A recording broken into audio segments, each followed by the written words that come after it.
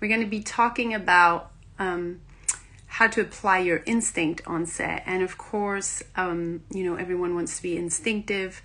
The performances that touch you and that grab your attention and that like crack through you when you're watching them are the performances that are instinctive, the ones that make a difference in your life, make a difference in everyone's life, the ones that are, you know, rememberable memorable? No not rememberable memorable. Are the ones that are surprising you that are instinctive that are in the moment that are not planned ahead that are not controlled.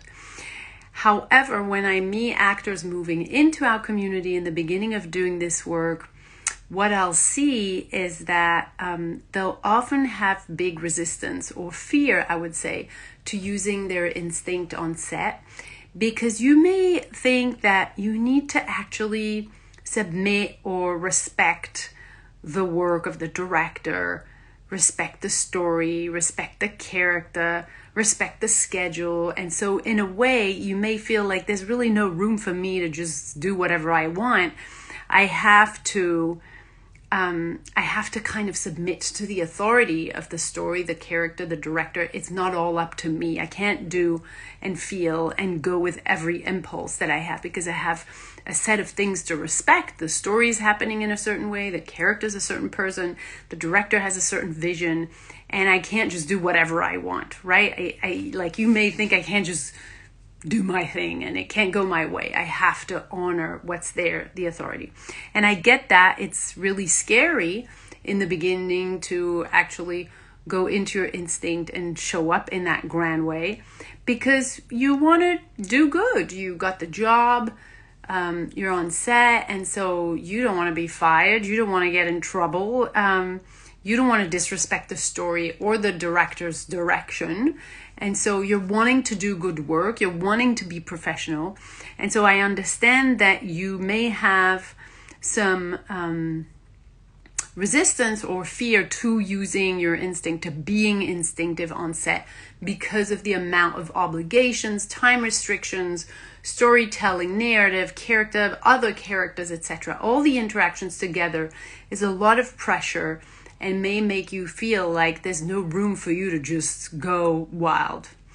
And um, so you may have tried in the past knowing that you have to be instinctive in order for you to be fulfilled, in order for you to have an impact on your audience, you know you have to be instinctive, and yet you want to have that respect for the story and the character and the director.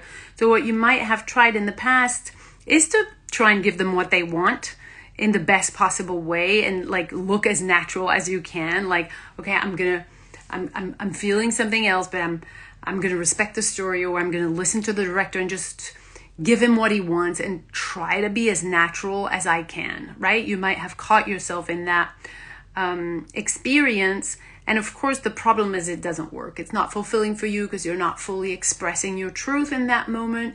So you're not fully expressing what you've been hired for.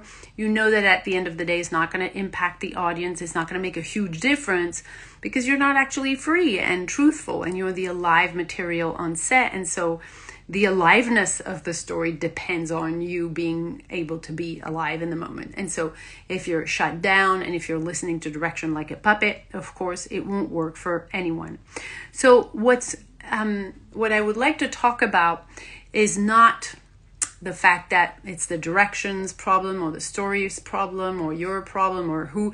I'm not going to blame anyone. What I'm going to say is that the reason now that you are afraid of using or of being instinctive on set is because so far what you have experienced of your instinct is not your instinct. It's maybe not even the tip of the iceberg of what your instinct actually is.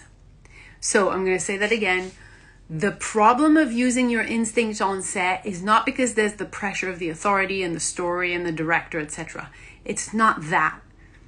It's because the way you know your instinct is so much the tip of the iceberg of what your instinct actually is that right now you're not instinctive. And what you understand as instinct or the way you perceive instinct, which is not what you have access to, is that it's rebellious.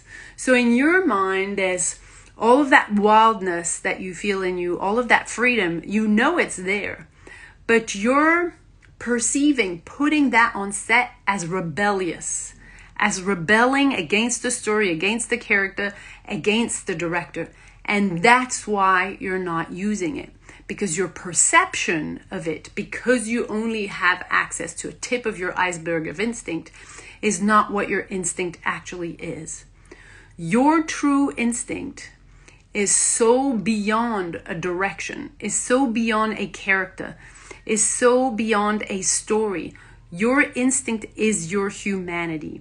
And what you are paid for, what you are hired for, what you are booked for is to bring your humanity. Right now, you do not have access to it because you've been raised, conditioned, and wired to follow, to please, to be a good person, to look good, to do the things right, to be better than the others but you haven't been invited to actually be in your true humanity, the one that's right under your conditioning mask, right? We're all raised with you got to feel this, you can't feel that, you got to think this way, you can't think that way. There's a right and a wrong, there's a good and a bad.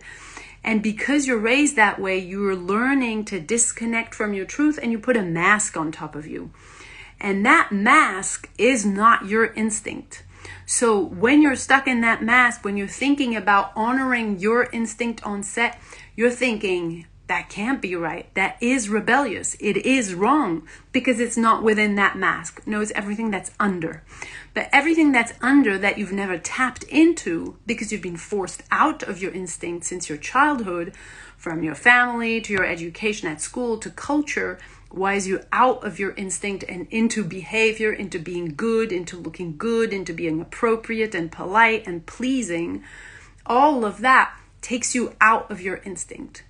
When you have access to your real instinct, to your true deep instinct, when you do the work of unconditioning yourself and looking under the mask and getting that truth back, your humanity, your unique way to be human, which only you have, that's incomparable to anyone else. That unique combination of elements that make you you, that unique combination of energies that make you you.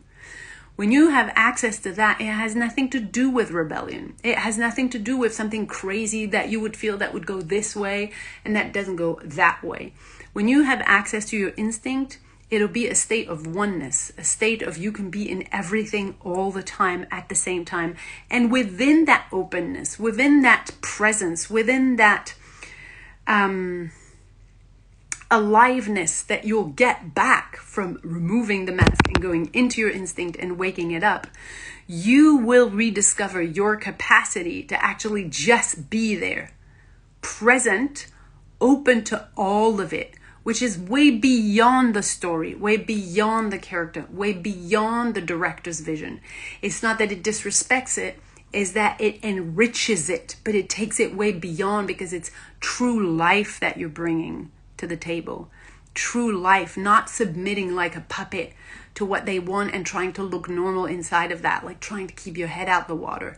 That is not what instinct is instinct and instinct is not that crazy thing that you think is rebellious and wrong and there's no room for you to do it because you should be doing what you're told and you can't just have it your way it has nothing to do with those two extremes it has to do with the level of absolute openness to your humanity that makes any direction possible inside of you within the confines of your instrument, within your uniqueness. And so you're still able to bring your truth, your freedom to the story and the vision and the character that is right in front of you, which has nothing to do with rebellion and it has nothing to do with looking natural. It's aliveness, it's presence, it's pulse, it's openness, it's in the moment, surprising, it's ecstatic, it's magnetic, it's exhilarating for you and so addictive to people who watch you because Nowadays, no one is alive and open and instinctive and free and truthful. Everyone is in the looking good, right? Like, look on social media how everyone is taking selfies and looking good. That's the world we're living in. And your responsibility as artists is to come back here and be on those screens and remind everyone what it's like to actually be human, what it's like to actually feel something, what it's like to actually be open to life, to let something impact you, to feel emotions, to have your unique version of the experience, right? So if this rings a bell, if this makes any sense, and if you're wanting and craving that yumminess that only you have to be there, that you can enjoy it on the set, that you can feel the sense of, you know, the zone, the freedom, the exhilaration that you feel when you do those takes where you're completely in it, completely in the moment, completely free. If that's what you want as your baseline, if you've been missing that and if you know that you want to honor the story and yet you're unable to come at it with your natural self, with your truth, with your freedom, then uh, let us know in the comments, send us a DM, and we'll send you some information. Ask us some questions. You can also find free trainings in the link in the bio, in the um, comments on YouTube, in the About section on Facebook um, how to stop being a great actor, a uh, good actor, sorry, so you have a chance at being great. So get that, it's free. You can start from there. And then from there, um, you know that's a first step. And then if you want to know more you can you can ask us. We also have a wait list if you want to reset yourself and you know that this is for you. You've been checking us out for a while. Make sure that you get on the wait list so that we can send you the info when we open enrollment again. All right. Thank you guys. Happy monday Bye bye.